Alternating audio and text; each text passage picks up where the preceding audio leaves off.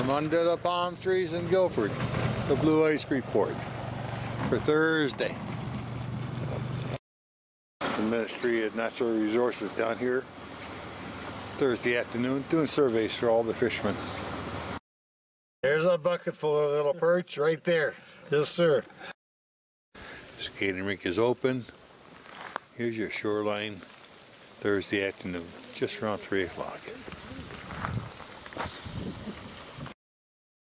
Here's your shoreline at uh, Gilford Road, 5 o'clock. The ice is good and solid. There's no snow on top, so you gotta be wearing cleats. Up to the fourth line of Veniceville, where Love to Fish Simcoe has got all set up, operational, near Monorino Marina. Up to Chapman Street, we see Lucky's sons have several huts out here. The access is good.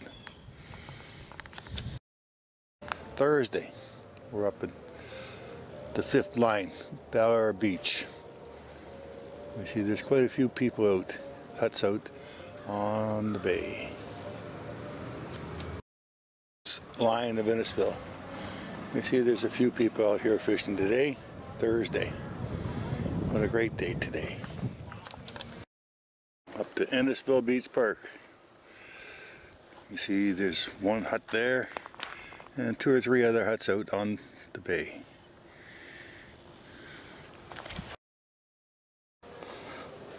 Thursday morning, the ninth line of Innisfil, I see one hut out there north of the islands and one out out there south of the island.